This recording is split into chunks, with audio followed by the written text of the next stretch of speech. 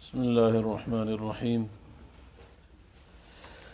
نحمده ونصلي ونسلم على رسوله الكريم أما بعد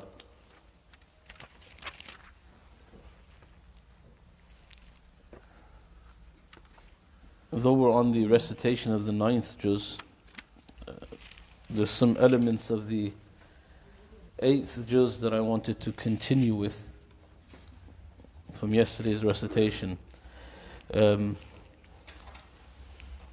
where Allah subhanahu wa ta'ala speaks about the previous or some of the previous nations and why Allah subhanahu wa ta'ala took them to task. Uh, so up until now Allah subhanahu wa ta'ala has been continuously repeating the concept of tawheed, of risala, of akhirah, and to re emphasize this, Allah subhanahu wa ta'ala gives examples of previous people that rejected the risala. And ultimately, what was their fate? And a two pronged discussion by Allah, or two pronged benefit, is that this was also to console, like I said, continuously console the Prophet that there were prophets that came before you and they were also rejected. Um, one of the most devastating, the, the message itself wasn't, it's, it had a very heavy effect on the Messenger of delivering the message. But what weighed tremendously on Rasulullah is how people rejected the Prophet. Knowing that this was the truth and that deep concern of pulling people away from the fire and taking them to the eternal bliss of Jannah, yet the refusal of people. So Prophet couldn't understand that this is so obviously and blatantly the truth, and I'm trying to t- take people away from misguidance, from angering Allah, and I'm trying to take them towards the truth. But despite it being so glaringly obvious, the rejection, and at times the rejection was nothing more than just enmity and hostility, no other reason for rejection. So Allah subhanahu wa ta'ala speaks about some previous people and their prophets. So I thought it's good to go over them in a very summarized, quick way, inshallah. Allah begins with لَقَدْ أَرْسَلْنَا نُوحًا Of the stories of the previous prophets, he starts with Nuh ala nabiyina wa alayhi salatu wassalam. Nuh alayhi salatu wassalam is approximately five centuries his existence after Sayyidina Adam ala nabiyina wa alayhi salatu wassalam. And he is the first prophet of Allah who had to combat disbelief. So Adam alayhi salatu wasalam, when he was sent as a messenger of Allah subhanahu wa ta'ala, Adam wasalam dealt with legislation of being established on the earth, what are the rules, what we should do, what we shouldn't do. He never, Adam wasalam, never went through the concept of combating someone who disbelieved in Allah. The first prophet or the first messenger to do so was Sayyidina Nuh ala nabiyina salatu wasalam.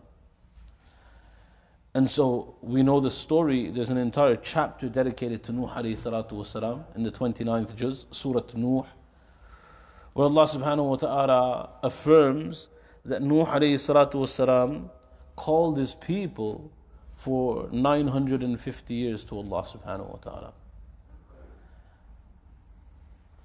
And so Nuh alayhi salatu wassalam فقال يا قوم اعبدوا الله ما لكم من إله غيره We'll start with what Allah subhanahu wa ta'ala says. Indeed, we sent Nuh to his people and he said, O my people, worship Allah ما لكم من إله غيره There is no deity other than him worthy of worship.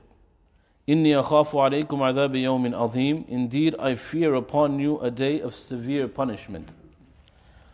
So now the response. What was what did the people say? And this the reason why we're going to go through this is that what you'll find is that Allah subhanahu wa ta'ala mentions their disbelief, they're going against Tawheed, alongside certain traits of that people of why He destroyed them. So Allah speaks about disbelief, but alongside that disbelief, there are traits that they possessed that they possessed which Allah subhanahu wa ta'ala did not like. And Allah warned through the Prophet that let go of this belief and let go of this, these traits or these beliefs, lest I punish you. And the reason why I say it's interesting is that these were single things that stood out amongst those people and Allah destroyed them. We, as an ummah, you will find we possess all of these traits. What other nations were sing, because of that single trait, Allah subhanahu wa ta'ala disliked them such that alongside their going against Tawheed, Allah decided that was enough to eradicate them. And when I mean eradicate, their signs were removed from this earth in terms of their existence. Allah simply left their uh, sort of ruins behind. The entire generation was wiped out. And Allah subhanahu wa ta'ala, and this is, this is truly the only reason is because we are the ummah of Muhammad sallallahu alaihi wasallam. The amount of gratitude that is owed to Rasulullah sallallahu alaihi wasallam. Allahu Akbar. Like I said, the single reasons why Allah subhanahu wa ta'ala eradicated previous nations, we find all of them within us. All of them. All those traits we possess. Allah speaks about Arrogance upon strength, we have that. Arrogance against, upon skill, we possess that. Allah speaks about homosexuality, it's rampant in our society. Allah speaks about the evil of people who are uh, not, don't act with justice in their business. It's present in our society. All of them are present in our society. But because of the fadl of Allah, because of being the ummah of Rasulullah, Allah says in the Quran, وما كان الله ليعذبهم وأنت فيهم وما كان الله معذبهم وهم يستغفرون Subhanallah, because being this being from this ummah, Allah subhanahu wa ta'ala says that I will shower my grace on this ummah that I will never collectively destroy the ummah of the Prophet as long as there are one of two things. The first, أنت فيهم as long as you, O Muhammad وسلم, reside amongst them, I will not punish the entirety of the population. And number two, وَهُمْ يَسْتَغْفِرُونَ What happens after the Prophet ﷺ goes away? Such as the, the favor of Allah on the ummah of the Prophet ﷺ says, fine, even if the Messenger ﷺ was not present, as long as there are people who do istighfar and seek the repentance from Allah, I will not collectively punish the ummah. So, Nuh alayhi salatu people, Nuh alayhi was sent in an area uh, near Iraq. And he calls them, as Allah subhanahu wa ta'ala describes, 950 years he gives them this dawah. It also, it also highlights how we have to be patient with dawah. It also highlights don't expect. Look at, look at the perseverance that Allah subhanahu wa ta'ala instills into Nuh alayhi salatu wasalam. 950 years of rejection, mainly. Only a pocket. They say in the books of tafsir, the people that come on the ark of Nuh alayhi salatu totaled 80 people. Everybody else denied him. So at times when we're giving dawah, not necessarily even to other people, you know, even family members. Not everybody is on the same level of iman. So sometimes there will be family members who, in our view, outwardly, they're not practicing. What's their maqam with Allah? We don't know. What is their position with Allah? We don't know. But outwardly, they don't seem to be religious in our eyes. And so we want to give them da'wah. Don't expect that that da'wah is effective immediately. Patience. Patience and wisdom. And insha'Allah, Allah subhanahu wa ta'ala will mend the ways. It's a very important lesson that's taught to us. So the people they say, قال الملأ من قومه, the chieftains of his group of his people say, إنا لنراك في ضلال مبين. We perceive you to be in open misguidance. We're not misguided. This is what we know. You're misguided. قال يا قوم ليس بي ضلالة ولكني رسول من رب العالمين. So much, so much is taught in these verses of the Holy Quran. The response of Nuh والسلام, to being called a misguided? He says, No, no. Simple. I'm not misguided, I'm just the messenger of Allah. No argument, no shouting back, no becoming aggressive. Just a very simple statement. لَيْسَ بِضَلَالَ I'm, I don't possess the misguidance that you're talking about. وَلَكِنِّي رَسُولٌ مِّن I'm simply a messenger from Allah Rabbul Izzati wal Jalal, the Lord of the universe. And why have I come to you? أُبَلِّغُكُمْ رِسَالَاتِ رَبِّي I'm simply here to convey the message of my Lord.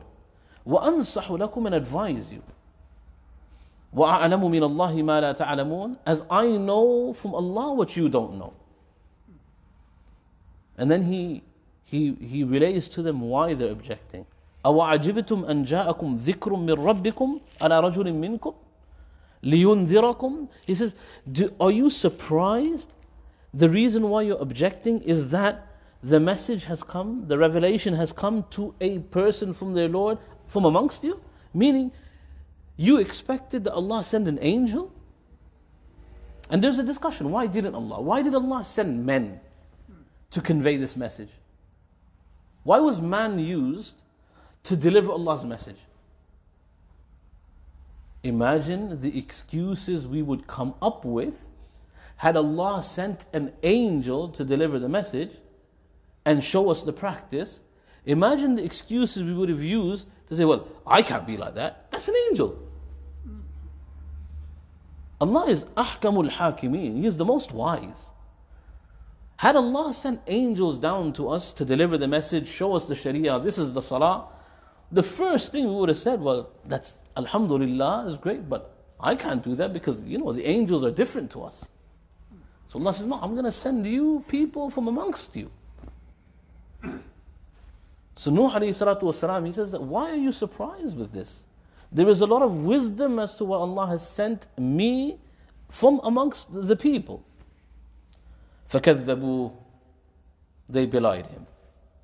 فأنجيناه والذين معه في الفلك Allah subhanahu wa ta'ala says that we saved him and those that were with him in the ark وأغرقنا الذين كذبوا بآياتنا and we drowned those individuals that belied our signs إنهم كانوا قومنا they decided that fine if Allah subhanahu wa ta'ala is going to send a punishment through the flooding then we'll retire to the mountaintops how will Allah reach us there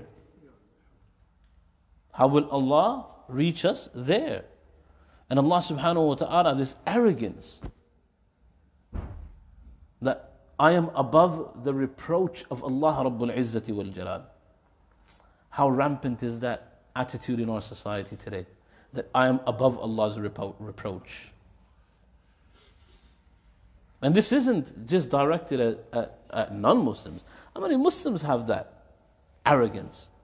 That I am above Allah's reproach. Then Allah subhanahu wa ta'ala speaks, and there's succession. وَإِلَىٰ عَادٍ أَخَاهُمْ هُودًا from the progeny of Nuh alayhi is his son Sam. And from the progeny of Sam, there are two individuals.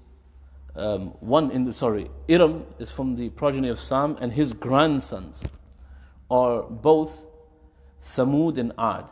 So Ad and Thamud are individuals that are directly from the progeny of Nuh alayhi salatu wasalam Through an individual named Iram. So Allah subhanahu wa ta'ala says, To Ad I sent their brother, Akhahum. Allah makes it very specific that the prophets were from them. وَإِلَىٰ عَادٍ أَخَاهُمْ Their brother, Hud alayhi salatu wasalam. Hud alayhi salatu wasalam was sent, and Allah subhanahu Now this is where we need to reflect on the sins. قال يا قوم اعبدوا الله ما Allah, in all of these stories, He gives the same theme and message from the prophets to the people. What? Ubudullah, worship Allah. And there is no one worthy of worship except Allah. So the fundamental basis of religion is established, and the same message is given by all of the prophets to all of their people. The same message of Tawheed. The oneness and unity of Allah Rabbul Izzati wal Jalal. This is fundamental in the eyes of Allah subhanahu wa ta'ala. In fact, there is no scope of error in, in, the, in respect of Tawheed. There is scope of error in terms of ibadah. You can go to Allah subhanahu wa ta'ala and you could have made mistakes in your ibadah. Insha'Allah, thumma insha'Allah, Allah will forgive us insha'Allah.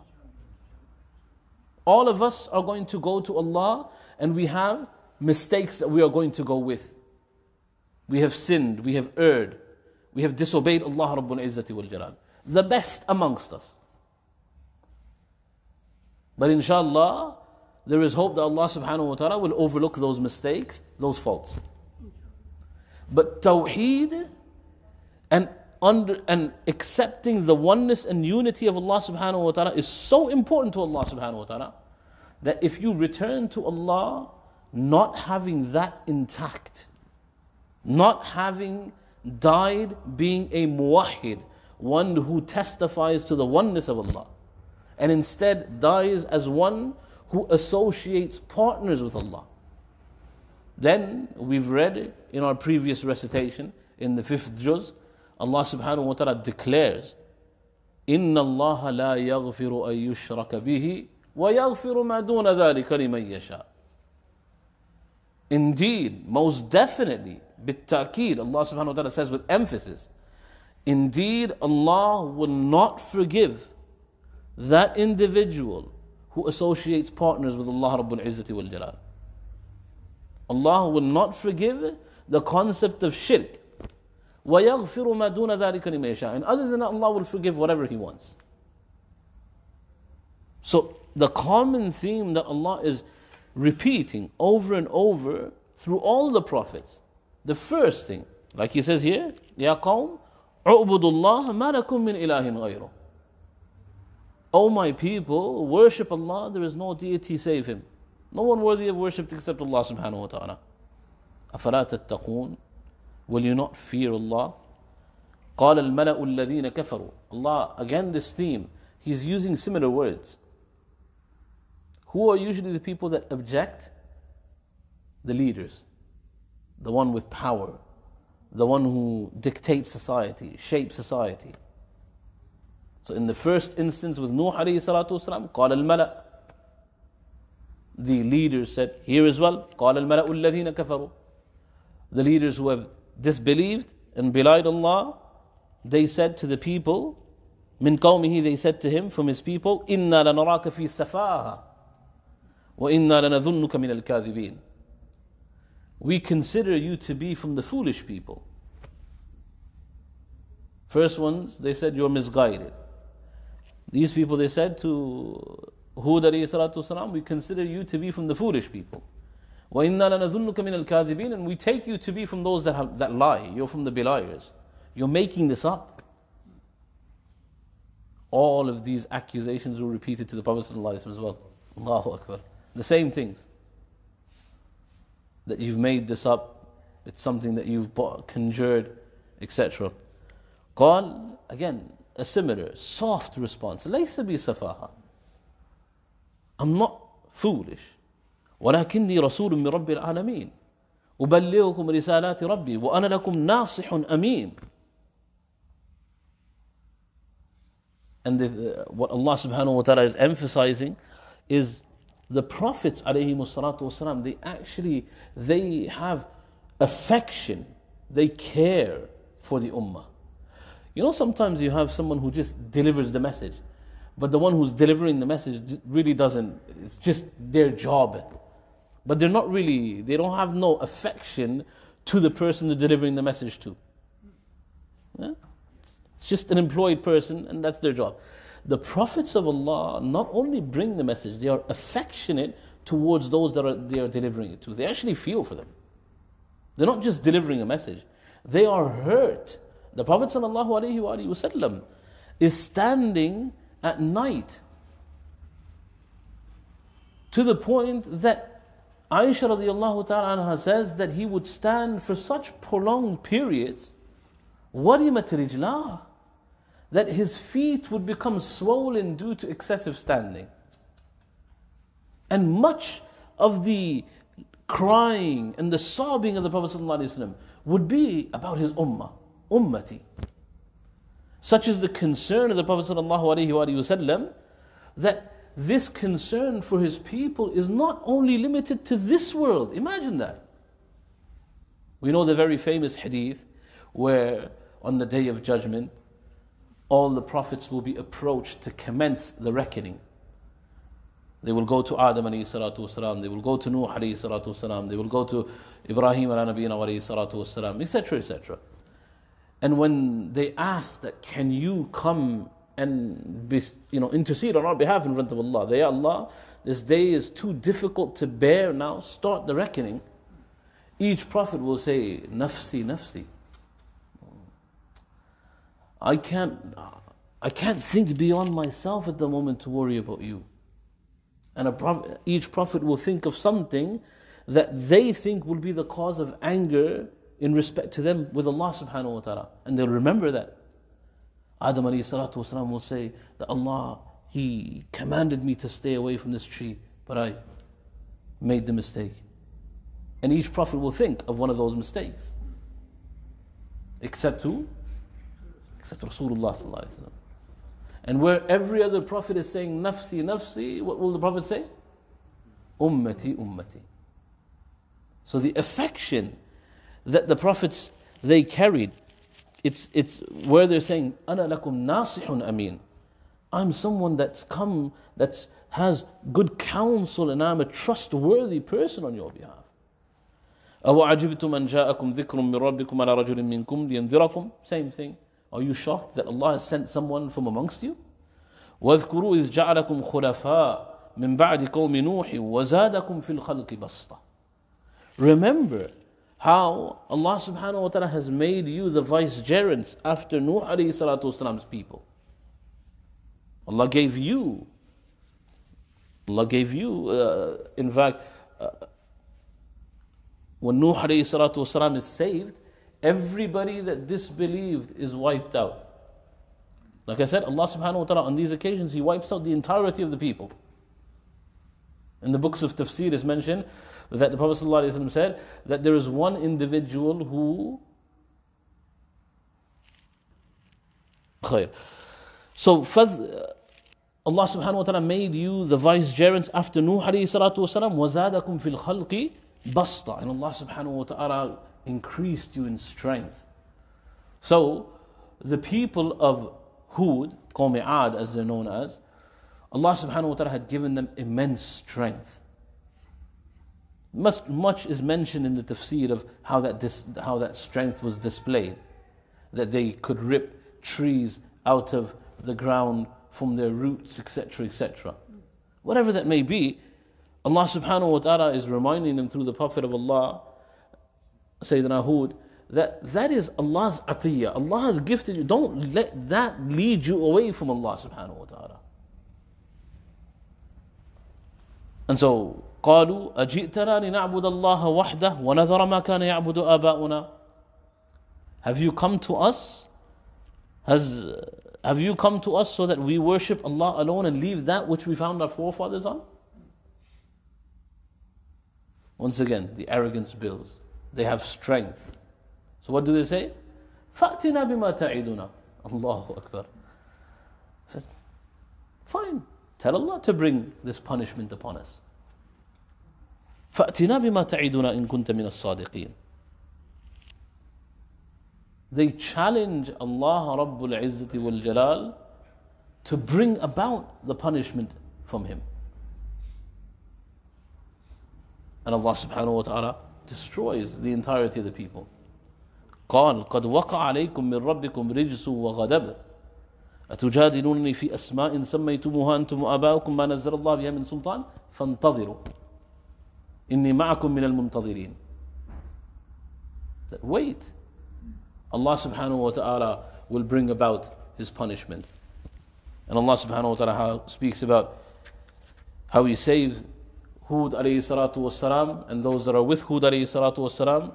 وَقَطَعْنَا دَابِرَ الَّذِينَ كَذَّبُوا بِآيَاتِنَا And he uproots those individuals who belied Allah subhanahu wa ta'ala. And among, around the same time, around the same time, there were the people of Thamud. Again, from the ancestors of Nuh alayhi salatu wasalam, from the people of Iram. And Allah subhanahu wa ta'ala says, I send to them an individual, a brother, their brother, Salih alayhi salatu wasalam. Salih alayhi salatu wasalam gives them the same message. Says that signs have come to you from your Lord. Those signs are referred that, that are being referred to is a miracle. The people of Salih alayhi salatu wasalam, they had asked Salih wasalam that if you are from Allah Rabbul Izzati wal Jalal, then show us, prove it to us. So Salih salatu said, What do you want from us as a proof? What is the proof that you want? And so they said that if you are from Allah Rabbul Izzati wal Jalal, then you see that mountain we want you to ask your Lord to take out from the mountain a pregnant she camel, a pregnant camel. And the condition is that it has to be 10 months pregnant. So they thought, the, the whole reasoning behind this is let's ask for something absurd. Let's ask for something that can't happen. And when he can't do it, it's a reason for disbelief. once the Quraysh came to the Messenger وسلم, and they said to the Prophet وسلم, Ya Rasul, uh, O Muhammad وسلم, you want us to believe in Allah? Fine. We ask you to do one thing. We want a miracle. We want something extraordinary to take place on your hands and then we'll believe. So the Prophet said, What do you want me to do? So they pointed to the Mount of Uhud. And they said, that ask your Lord to turn this mountain into gold for us. Ask your Lord to turn this mountain into gold for us. So the Prophet subhanAllah, he said, Will you believe then?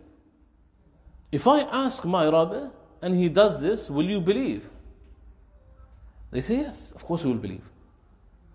So the Prophet goes to raise his hands to make dua, and Jibreel comes down. And Jibreel alayhi says to the Prophet sallallahu O Muhammad, even if we were to turn multiple mountains into gold, forget Uhud, the mountains adjacent to it, in front of it, if we were to turn, turn them all into gold, I swear by Allah they will not believe.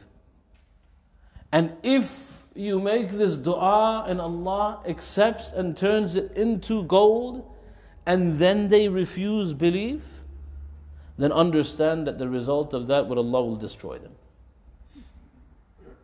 Allah will destroy them.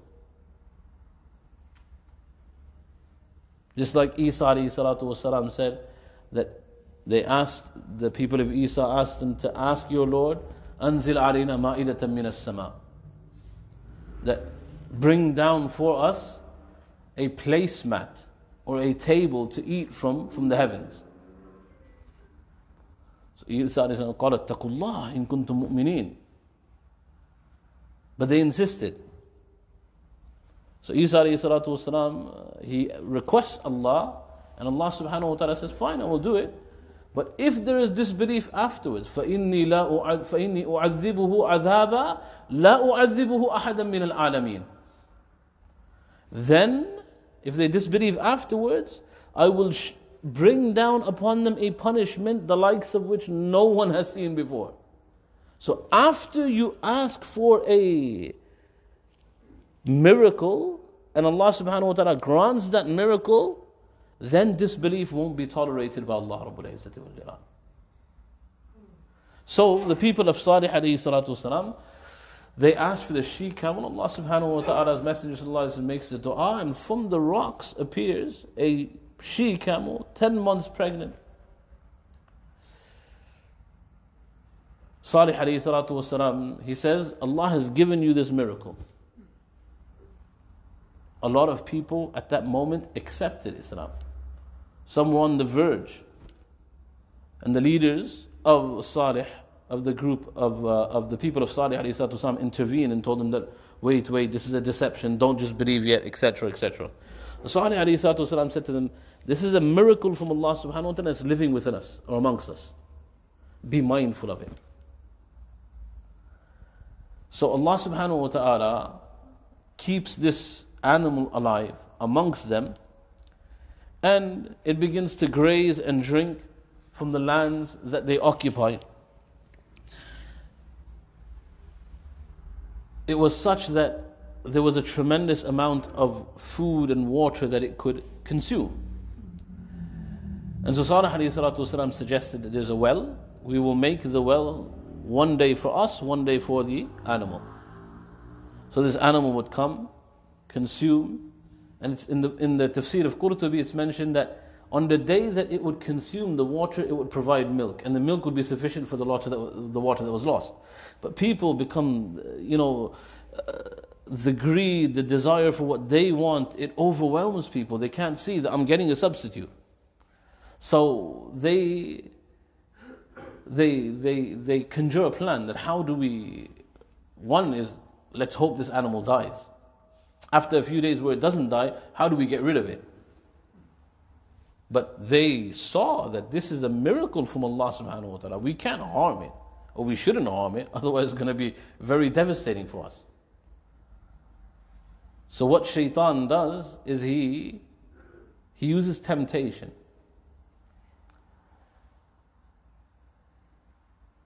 From the ploys of shaitan that he manages to convince us to do wrong is that he tempts us with things. And he lures us with temptation. And for every individual, the temptation will be different. In this case, he lures two individuals with the temptation of women. The two women present themselves and say that whoever kills this animal, we are theirs. And so, two individuals, Misda and Kadar, they set out to kill this animal and they kill this animal. One strikes, one throws a spear through it, and the other one chops its legs off and it dies. And at that junction, Salih says, That's it. Now there's no hope for you. Now Allah subhanahu wa ta'ala is going to take you to task. And again, arrogance. It's, it's a common theme with people of the past. And Again, it's a theme that we possess today as well. Very arrogant in relation to our relationship with Allah subhanahu wa ta'ala. Allah has said, we might not be arrogant with words, we might not say the words of arrogance, but our actions are very arrogant. These people used to say, like, they, they turn around to Sadi when he says, You're going to be punished. They say that if you don't pray, this is the result. We hear that this will be the punishment. We're not unaware. Alhamdulillah, we live in a society where knowledge is so rampant, it's so available. Most of us are aware of ahadith that our parents never heard of. The truth. Because of how much knowledge is, uh, is available. But we're so arrogant to that knowledge that Allah says you have to do this. No, I'm not going to do it. Allah's saying this is a must. But our arrogance takes over.